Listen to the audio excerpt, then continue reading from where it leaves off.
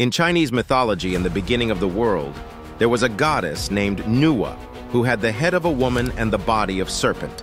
She is also known as the goddess of nature, order, fertility, marriage, and the mother of mankind. Nuwa, feeling very lonely one day, scooped up a handful of yellow clay and molded it into the shape of a person, creating the first ever human. She then crafted hundreds more of these figurines.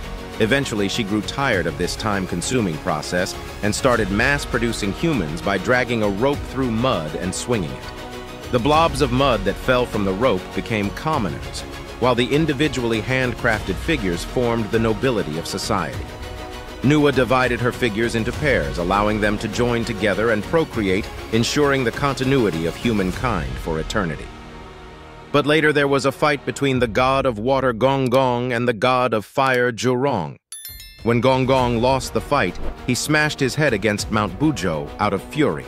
Since Mount Buzhou was a pillar holding up the sky, the sky began to fall and caused a lot of damage. Because of that, people's lives became miserable. Nuwa was really concerned about her people, so she picked out colorful stones in Mount Tiantai and used them to seal the broken sky. In this way, peace and happiness return to mankind.